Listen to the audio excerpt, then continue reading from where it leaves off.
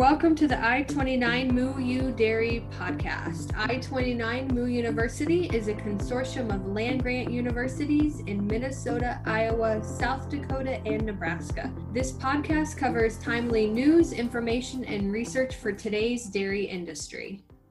I'd like to welcome everybody to the I 29 Dairy Podcast. Uh, this has become a twice a month feature from your I 29 Moo University folks. Just a little bit ago, we hosted the corn silage pricing webinar, and now uh, we are pleased to have Ryan Sterry visit with us on podcast here. So, uh, Ryan, welcome to the podcast. Give us a little bit of what people heard at the webinar. Yeah, thank you, Fred. Appreciate it. So, a few things. I mean, obviously, um, we have variable conditions across the Midwest, depending on where uh, exactly you are geographically, on how severe the drought uh, is or isn't. Um, and I definitely sympathize for those that are going through this now. I know it's, it's a difficult situation. So, I think it, just a few general things. Um, really, we talked about spot pricing, corn silage, maybe not that we talked a little bit about at the end about some longer term arrangements or more formal agreements but uh, we started off talking more about i'm a little short on feed or i got a few acres of corn that i'm not sure what to do with i might sell it to someone with livestock instead so that was our uh, jumping off point. Uh, and then we talked about a few things on you know how do we determine what the yield is you know whether we can get some weights. We have an on-farm scale. Um, we're going to do some estimates by doing some spot mini harvests in field uh, and some formulas to do that.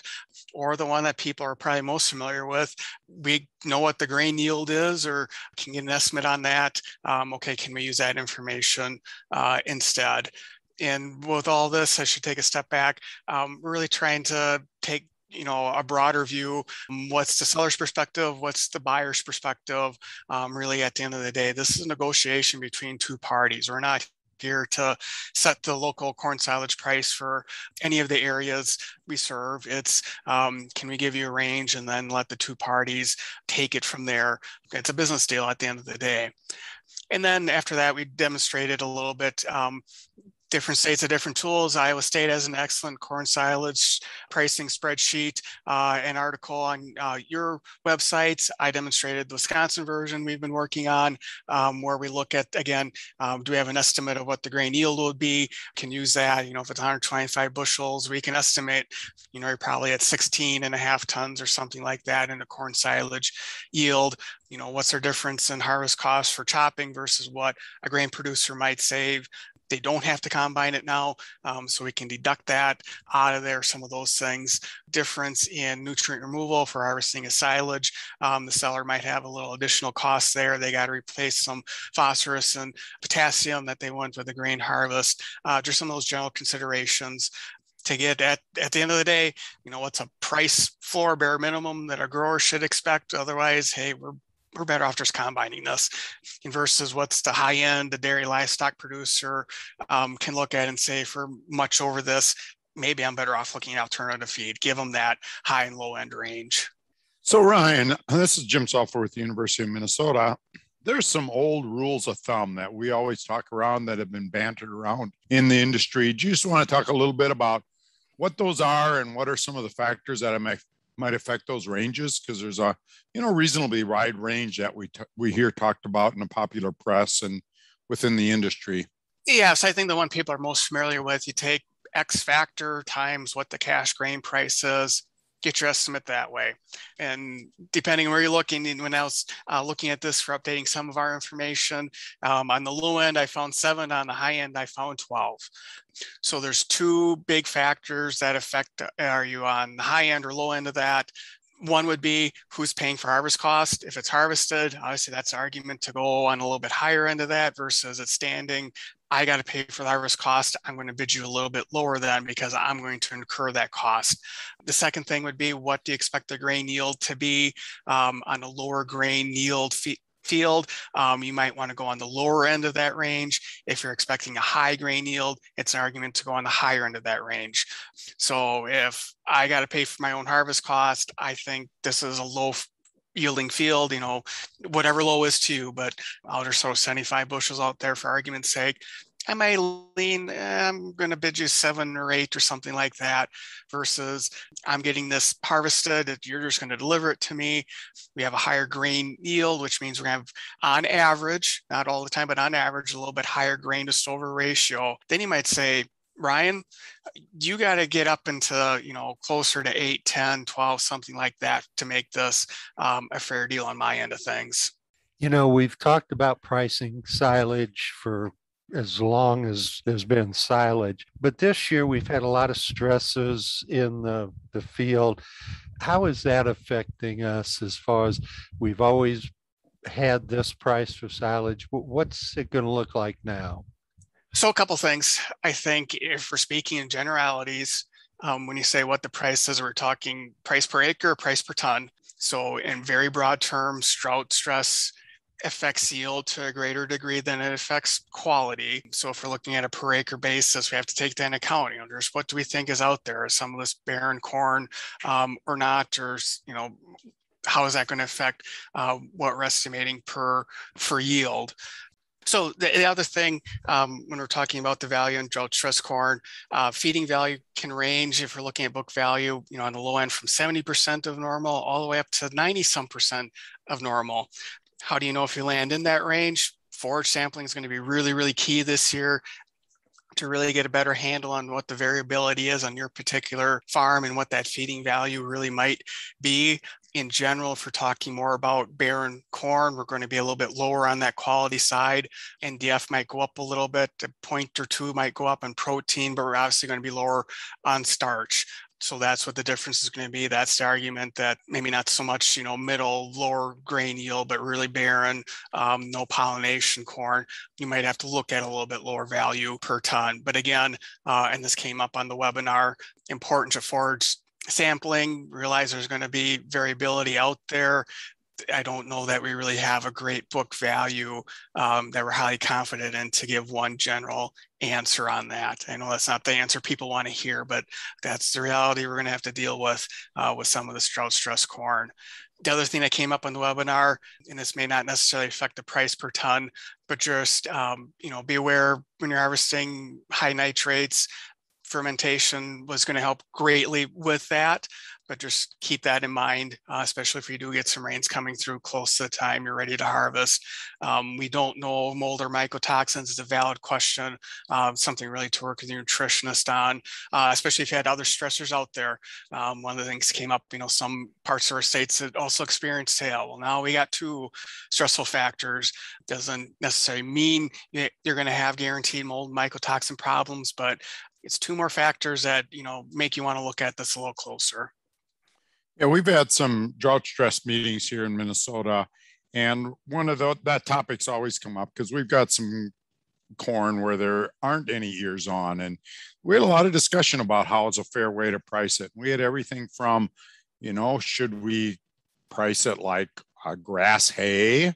And I think to your point, Ryan, the discussion is if we can get a really good sample, and what do we kind of compare it to then, or do we sell it? Some people would say we should price it like corn stover, you know, because that's sort of what it is, except I think it's going to be a lot more valuable than a corn stover because there's likely to be a lot more sugars in there. And typically these feed, you know, even if there's no ears, it'll feed better than corn stalks will after there's ears. So I'm not sure there's a right or wrong answer, but I agree. I, I think if you can get an accurate test on that, that really can help in kind of determining what might be a fair price for both parties. I know, Fred, have you had any experience in this area with working with any producers down there? Not really. I mean, we, I just haven't had that personal involvement. The question that I did have come in uh, yesterday as we were talking, his commercial chopper, his neighbor, doesn't have a kernel processor. And he says, you know, how much should I entice him to to make that available? You know is that something that is going to become or should be part of the pricing you know if you're going to chop it seven eighths versus half or one inch versus half and then have kernel processing So I can't say that's something I have a, you know, we've worked into any of our spreadsheets or anything like that. It's a good question. Um, and obviously it's going to add a little bit of expense to uh, whoever owns that harvester and what they're going to have to charge back. Um, but also if you do have good processing, adds a little bit value on uh, whoever's feeding it. So I can't give you a, a, number off the top of my head on that, but it does make sense. The other thing to factor into, especially if they're inexperienced with it, uh, doing some spot checks to make sure you're getting the kernel processing you expect. You know, obviously it fields vary. Some adjustments need to be made to the harvester as you go along. Um, one of our extension engineers, Brian Luck in Wisconsin's worked on like a smartphone app that you can take a picture, um, get an idea of what, you know, percent kernels are damaged, um, which is what you want through the processor. The reason I say that is a processor for the sake of the processor doesn't have value. It's are you properly using that processor, getting the effect you want is the key thing. Another question, or a real common way to price corn silage in Minnesota we've maybe got a little more cash crop than you guys over, do over in Wisconsin, but it's really buying it on a bushel basis. And I've worked with a fair number of farms over the year that that's just how they operate. And part of it is because uh, our cash crop producers, they think of bushels. They don't, you know, tons really never enter their mind when they're thinking about harvesting their corn. So oftentimes there'll be a strip left in the field or there'll be a different way where they'll try to estimate the amount of yield that's in there on a dry corn basis. And then basically they price their corn silage so much per acre based on an estimated yield, because that's that's kind of the math that the the cash crop farmers think about. You know, if I've got 150 bushel corn, that's worth you know four dollars a bushel. You just kind of do the math and you say this is how many acre, this is how many dollars I expect to get from that corn yield. I don't know if either of you have any comments, but that seems to have worked fairly well here in Minnesota because I think we need to be, if you're dealing with cash crop farmers, you kind of need to be speaking of their lingo too and talk about something they're really comfortable talking about. And they can relate to, okay, they can relate to bushels and they can relate to dollars per acre. And I think it, you know, it ends up being a pretty, I think it's a pretty fair pricing area when you when you work it through some of the formulas also. But do either of you have comments whether that's a, a good way to price corn silage or is it really uh, advantageous to one party or the other? I think it it's kind of the gold standard in this area, but I think it's only half of that gold standard equation. You know, uh, the, having an on-farm scale that that truck drives over, that's the the second part of that gold standard. I would agree. I mean, that's how if you're doing pay, I mean, you're you're paying per ton or whatever. I mean, you're trying to do it that way as well. I think what you said, Jim, makes perfect sense. And I know a lot of people that do it um, from the seller standpoint. I know they're looking at, just like you said, looking what's the grain yield, what's the grain price. Two things for them to also factor in: they're saving on their harvest and storage costs. So remember that. They're probably giving something up though on the nutrient removal that we're moving a little bit more P and K, taking it as silage. I can't say those two always perfectly cancel each other out, but there is some canceling out there. But just keep those two factors in mind. There's some fine tuning you can do and that's where you know if you can get a, a, weight as silage it helps you out some the old kind of things that out there that have been corn silage is 50 50 half grain half fodder if you're looking at it uh, as a ton basis that does vary some though, um, and that does vary some with yield. And that's where if you can get a weight, can get a little bit better handle on that. But I don't think it, what you said is wrong, Jim. I think that's an approach a lot of people take and they make it work. The other thing I've run into that varies in this, and I don't know if there's, you know, you can't kind of think of scenarios for everything, but some of these are dairy farmers are selling to neighboring dairy farmers, and it might be a little bit more of a silage specific hybrid then. And so I got the question. So I've got a, whether it's a leafy hybrid, you know, brown, brown midrib is a little bit in a league by itself. So that makes it a little more complicated.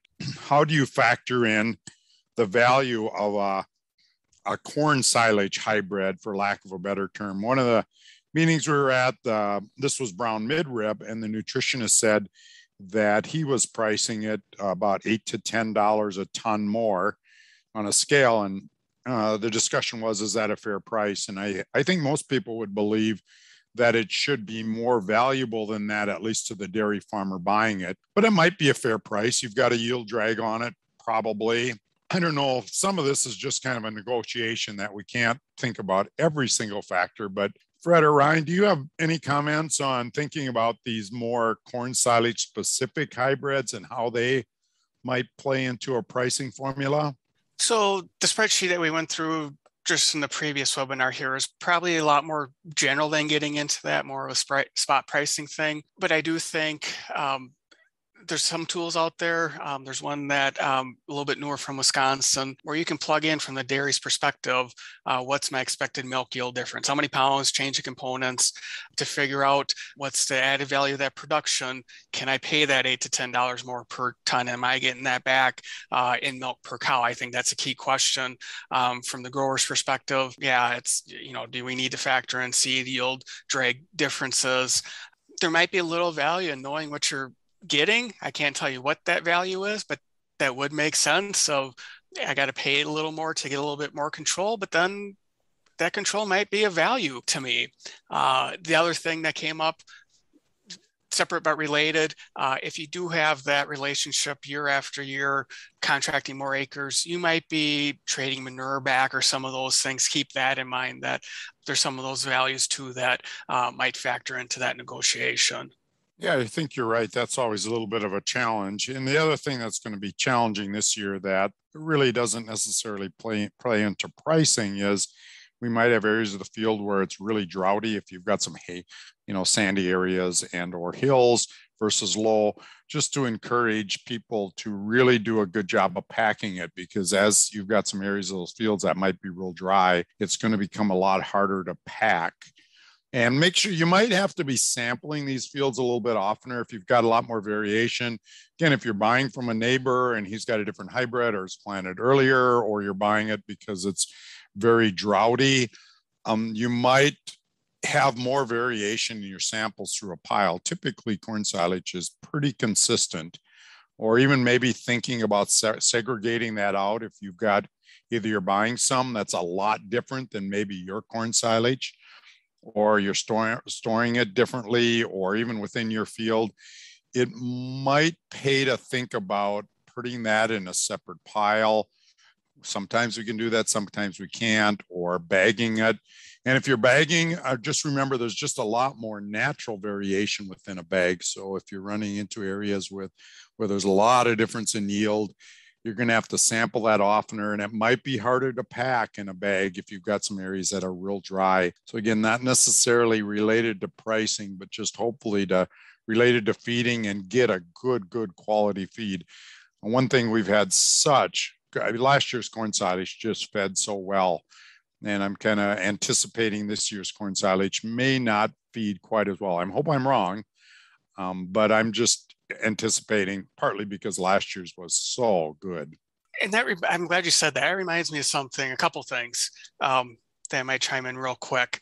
I think this is geographically going to vary quite a bit. I think, especially Minnesota, Dakotas, you're quite a bit drier than what I'm experiencing in my backyard. We've had periods of dry and periods where we got rain just in time more uh, locally for me. So if the corn is done done by you yeah we do need to worry about you know still get it put up at the right moisture.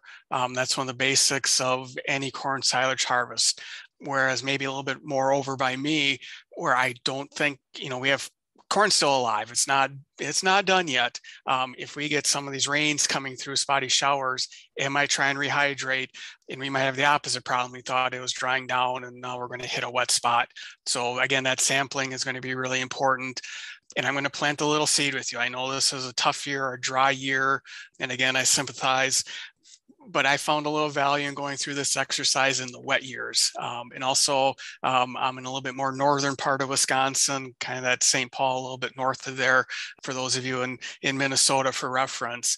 So drying corn's a reality for us, whereas um, in Fred's neck of the woods, that may not be as common, but we get into a wet year um, with the challenges of combining, uh, challenges of drying that crop down, challenges with shrink once we start having to dry down that grain portion a lot.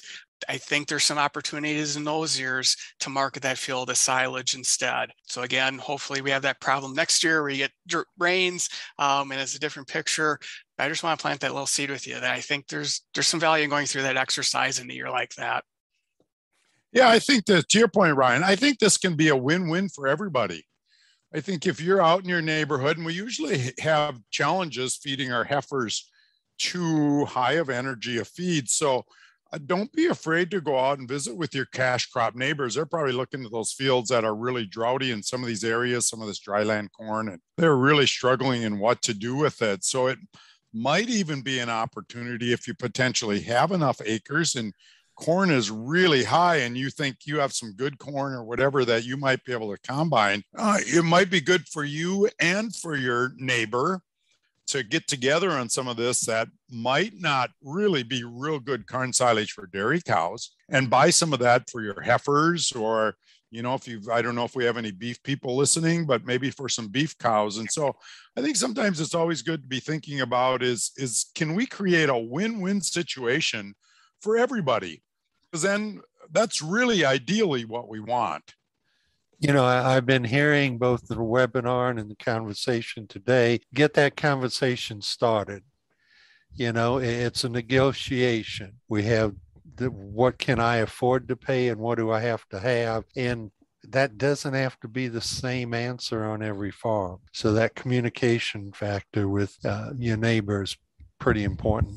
Yeah, Fred, you're exactly right. I think having these conversations sooner than later, at least potentially lining up, because what I really don't want to happen to have people are chopping in the next few weeks and they get done and they look at their pile and they go, man, I'm really short of feed. What am I going to do? Now's the time to have the conversation with those neighbors and just be transparent about it.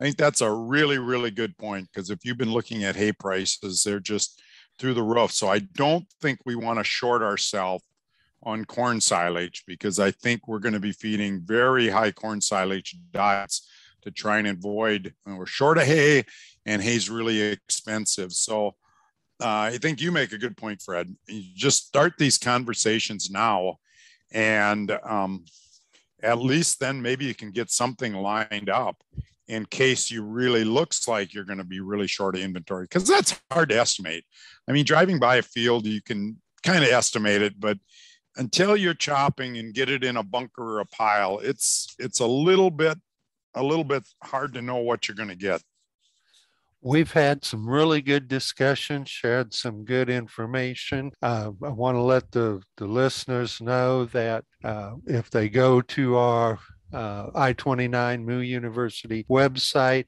along with the podcast. They'll also be able to get links to some of the calculators we've talked about.